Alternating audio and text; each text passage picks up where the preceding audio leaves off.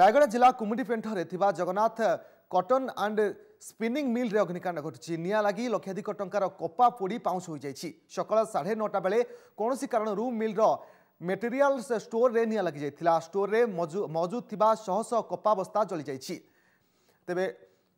কলনারু তিনটি দমকল গাড়ি পৌঁছি নিয়া লিভাই সর্ট সর্কিট্রু নিয়া লাগি অনুমান করা যাচ্ছে